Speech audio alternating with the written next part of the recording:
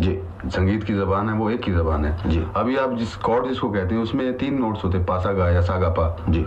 वो अब तीनों एक साथ बजाओ तो उसको कॉर्ड कह देते हैं। जी। हाँ तो इससे अगर हम पहले धोती पहनते थे कुर्ते पहनते थे अब हम पतलून पहनते हैं सूट पहनते हैं तो गज़ल को कॉर्ड क्यों नहीं पहनाया हाँ, जाए सही बात। उसको आप क्यों पीछे रखना चाहते हैं? यानी यूँ कह लें कि कॉर्ड का कोड क्यों नहीं बनाया हाँ जी, हाँ। यानी जो पाश्चात्य असर है अब इसके आगे हम चलते हैं। तो इंस्ट्रूमेंट्स में ही नहीं हम देखते हैं कि धुनों में भी भारतीय ज़मीन पर काबू रखते हुए भी आप लोग कहीं ना कहीं उन इंस्ट्रूमेंट्स की वजह से हो चाहे या कंपोजिशन में ऐसी बात हो उसका असर भी तो थोड़ा सा असर है। फ़िल्मों में ज़्यादा असर है। जी। वेस्टर्न मेलोडीज का वेस्टर्न स्टाइल का जो है। लेकिन गज़ल में मैं सोचता हूँ अभी कम है। गज़ल में सिर्फ़ इसलिए लग रहा है क्योंकि वो वेस्टर्न इंस्ट्रूमेंट हम यूज़ करते हैं। हम्म, हम्म। लेकिन मेलेडी में आई डोंट थिंक कि वहाँ पे कुछ वेस्टर्न कॉम्बिनेशन है। अच्छा और एक चीज़ अब खास तौर पे मैं चित्रा जी से ही जानना चाहूँगा कि जबान की जानकारी तो एक ज़रूरी शर्त है किसी भी तरह के गाने के लिए लेकिन गज़ल में कुछ खास सेंसिटिव हुआ करता है मामला तो इसमें आपका क्योंकि बंगाल से रिश्ता है जी। तो कोई दिक्कत आपको लगी कभी या जगजीत भाई की वजह से वो दिक्कतें आसान होती चली गई? हाँ ऐसा कह सकते हैं आप शुरू शुरू में तो बहुत दिक्कत हुई अम, आती ही नहीं थी ज़ुबान बिल्कुल। गा, गा तो ज़रूर लेती थी बचपन से गा लेती थी। जी। लेकिन वो सुन सुन के गाना बगैर समझ के गाना वो और बात होती है। तो फिर जगजीत जी ने काफ़ी हेल्प मदद की इस फ़ील्ड में और धीरे धीरे समझ आने लगा। और अभी भी वैसे खास तो मुझे आती नहीं लैंग्वेज सच बात तो ये है। अच्छा तो ये वो तो तो मेरे हम्म, बोल से आपको समझ आप समझ गए होंगे। आप कह रही हैं इसलिए मुझे सोचना पड़ रहा है लेकिन लगता तो नहीं है ऐसा। नहीं नहीं। हाँ जी हाँ, मैं लेकिन वैसे एक एक गाना गाने से पहले एक एक गज़ल कह लीजिए। इतना ज़रूर करती हूँ कि उस पर्टिकुलर गज़ल की जितनी मुश्किलात हों कितने भी मुश्किल वर्ड्स हो जिसके मुझे मीनिंग्स नहीं मालूम या कुछ भी उसके मतलब हो जी। उस सारी बातें पहले मैं अच्छी तरह से मालूम करके फिर ही गाना शुरू करती हूँ। जी जी एक इल्ज़ाम अक्सर गाने वालों के ऊपर गज़ल गाने वालों पर आजकल आता है कि गीत नुमा गज़ल ज़्यादा आजकल गाई जाती है। किस बात की वजह से लोग ये कहते हैं कि ये गीत नुमा गज़ल हो गई है? क्या गज़ल गायकी का भी कोई खास पैटर्न हुआ करता है? ये तो देखिए अपना अपना ढंग है अपना अपना नॉलेज है।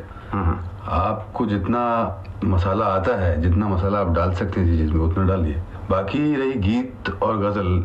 आप एक गज़ल को एक घंटा भी गा सकते हैं। हम्म, और एक गज़ल को आप तीन चार शेर होते हैं तीन मिनट में खत्म भी हो सकती है। जी।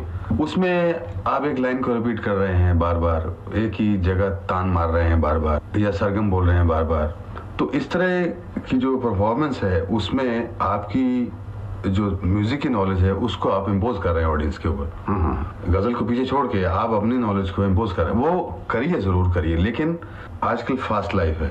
पहले हम दिल्ली जाते थे दो दिन में पहुँचते थे। आज आदमी चाहता है कि दो घंटे में दिल्ली पहुँचे। जी। क्योंकि इतना वक्त नहीं है। ऑडियंस के पास भी इतना वक्त नहीं है कि वो एक गज़ल को बैठ के आधा घंटा एक ही गज़ल सुनेंगे। हम्म, वो चाहते हैं कि ढाई घंटे का प्रोग्राम है उसमें कम से कम बीस गजलें हों। जी। डिफरेंट कलाम हो डिफरेंट शायरों कलाम हो। हम्म, हाँ अच्छी बात कही आपने यानी उसकी जगह यहाँ पर दाल में नमक हाँ, जैसे ज़्यादा नहीं नहीं, ये नहीं मैं कहता कि नहीं करना चाहिए वो कहीं कहीं खूबसूरत लगता है लेकिन उसका ज़्यादा जैसे मिर्ची या नमक डाल दो तो फिर वो बुरा लगेगा। बिल्कुल सही कह रहे हैं आप। अच्छा चित्रा जी। गज़ल गाने में जुगलबंदी भी आप ही लोगों से शुरू हुई है। और अगर शुरू न भी हुई हो तो मैं समझता हूँ कि मकबूलियत जो है वो आप लोगों से ही इस जुगलबंदी को मेल फीमेल दोनों एक साथ एक चीज़ को गाएँ तो इसमें आप जो जगजीत भाई बंटवारा करते हैं किसी भी गज़ल में तो फीमेल एंगल सामने रहता है उस शेर के पीछे जिसको चित्रा जी गाती हैं और मेल आपके सामने। या किसी भी गज़ल को आप बांट सकते ही हैं कि ये किसी भी गज़ल को नहीं बांटते हम। जी। एक तो जैसे जिता जी बोल रहे हैं अभी कि फीमेल एंगल शेयर में हो। दूसरा एक यूनिवर्सल थॉट जिस शेयर में हो हम्म। जो मेल और फीमेल दोनों पे जाता हो हम्म। तो वो मैं अक्सर इनसे गवाता हूँ। अच्छा इसके कुछ एडवांटेजेस आपको खास दिखाई दिए? दोनों साथ में अगर कोई चीज़ गाते हैं तो ऑडियंस के ऊपर हाँ एक तो देखिए मोनोटनी टूट जाती है। जी। अगर एक ही आवाज़ आप सुन रहे हैं तीन घंटे कान में तो वो थोड़ी देर के बाद मोनोटस लगती है। तो एक गज़ल मैंने गाई उसके बाद एक इन्होंने गाई तो एक वेरिएशन जो है ना वो कानों को भी मिलता है। क्योंकि इसकी ऑडियंस भी बहुत वाइड हो गई है गज़ल की आपको तो मालूम है। जी हाँ जी। पहले तो लोग घरों में ही गज़ल सुनते थे या कभी या कभार कभी गज़ल का प्रोग्राम होता था स्टेज पे उसमें भी 200 या 300 आदमी। अभी जो गज़ल के प्रोग्राम होते हैं हम लंदन में गए थे अल्बर्ट हॉल में तो 6000 आदमी वहाँ हॉल भरा हुआ था। हम्म, उसके बाद सन सिटी में गए सात हज़ार आदमी हॉल भरा हुआ। या इंडिया में भी श्री फोर्ट ऑडिटोरियम दिल्ली में ढाई हज़ार आदमी दो हज़ार आदमी।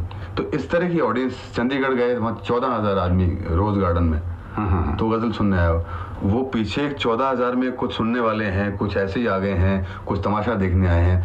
तो वहाँ पे सिर्फ़ गज़ल नहीं रहती वहाँ फिर कई कुछ और भी करना पड़ता है एंटरटेन करने के लिए जी हाँ जी हाँ। अच्छा गज़ल के साथ में जब लोग तालियाँ बजाते हैं ताल के अंदर तो कैसा लगता है? यानी देखिए वो वो एक स्टेज होल्ड करने का जो है तरकीब है। तरकीब ये आपकी कि वो पार्टिसिपेशन उनकी हो जाती है ऑडियंस की। अगर ऑडियंस की पार्टिसिपेशन शुरू हो गई है इसका मतलब आपका प्रोग्राम जम जाएगा।